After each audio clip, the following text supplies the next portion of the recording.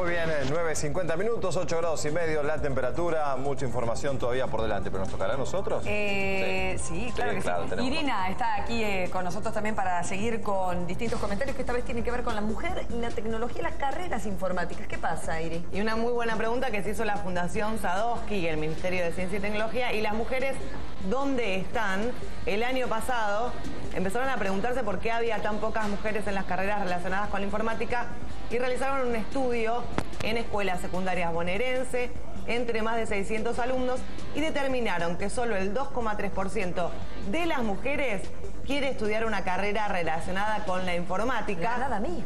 Muy poco y esto contrasta muchísimo con el número que ejemplificaba cómo las mujeres participaban en computación en la década del 60, 70, cuando en Argentina comenzaron las carreras de computación, un 60% eran mujeres. Qué notable ese dato. Sí, y, pero lo interesante de este estudio es que sirve justamente para ver, bueno, cuáles son las falencias y qué es lo que creen las chicas en la escuela secundaria acerca de las carreras informáticas.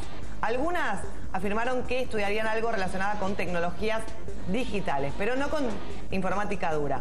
Y quizás hay un desconocimiento de lo que se puede hacer con la programación. Esto es para potenciar un poco el programa Programar, que es una iniciativa del gobierno y también junto con Educar, para ofrecer herramientas para que los chicos puedan aprender a programar.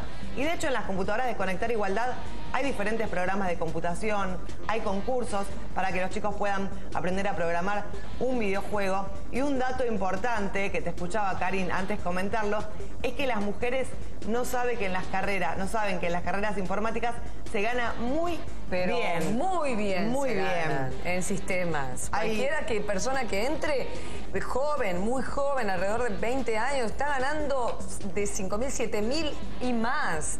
Lo básico estoy hablando. Claro. La cuestión es que la programación te permite hacer un montón de cosas, no solamente trabajar enfrente de una computadora en sistemas, y esto creo que es el papel de la divulgación eh, científica y de la divulgación para poder acercar más a la gente común, a la gente en las carreras informáticas, que son muchísimas y hay muchas aristas. La demanda igual sigue alta, es decir, es una cuestión más que nada de género en este caso, ¿no? Eh, o, es una carrera que está como diciendo, che, necesitamos... Hay faltante, el año como pasado ingeniería, que también es otra. Faltaron 5.000 profesionales, eh, profesionales relacionados con el área informática. Somos exportadores eh, de software, somos exportadores de ideas, de materias primas, de proyectos. por eso estamos siempre hablando de lo que podemos hacer nosotros eh, con la tecnología. Creo que la, sistematización de la educación viene retrasada con respecto a lo que los chicos hoy por, hoy, por hoy hacen y trabajan. Eh, de adolescentes en muy pocas escuelas se trabaja la programación, que es el futuro de la educación. Tal cual. Enseñarles programación en la primaria. En Europa ya lo están haciendo. Y no por nada, hace muy poquito Microsoft, por ejemplo, anunció que iba a donar eh, un montón de dinero para que las mujeres aprendieran programación, así que es un problema de todo el mundo. Fantástico. Gracias, Siri. A la pausa. A tener en cuenta estos datos, ¿eh? ya volvemos.